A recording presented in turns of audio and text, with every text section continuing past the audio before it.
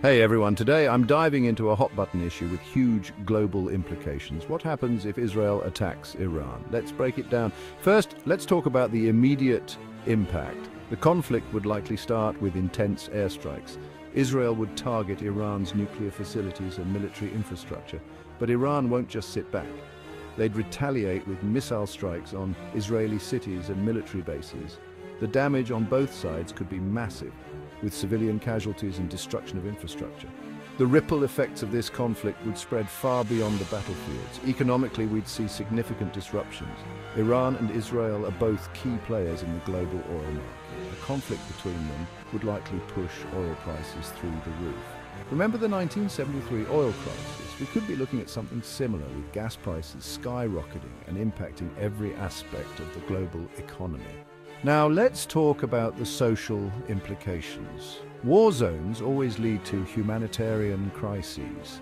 We'd see a surge in refugees fleeing the conflict areas, seeking safety in neighboring countries and beyond. Countries in Europe, the Middle East and even North America could see increased immigration pressures.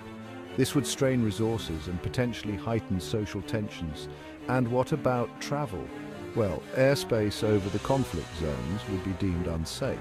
Flights would be cancelled or rerouted, leading to significant disruptions in global travel. Airlines might see a spike in operational costs due to longer routes and higher fuel prices. This would trickle down to passengers, making air travel more expensive and less reliable. The broader geopolitical landscape would also shift. Allies and adversaries would be drawn into the conflict. The US, a key ally of Israel, would likely be involved, potentially deploying more troops and resources to the region. On the other hand, countries allied with Iran, like Russia and China, could respond in various ways, from diplomatic pressure to increased military support. This conflict could also escalate into cyber warfare. Both Israel and Iran have advanced cyber capabilities. We'd see attacks on critical infrastructure, from power grids to financial systems, causing chaos and disruption far beyond the immediate conflict zone. So what's the takeaway? A conflict between Israel and Iran would have catastrophic consequences, not just for the Middle East, but for the entire world.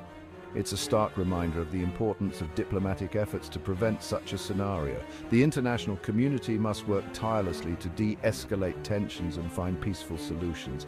Thanks for watching, and if you found this video informative, don't forget to like, and subscribe for more deep dives into global issues.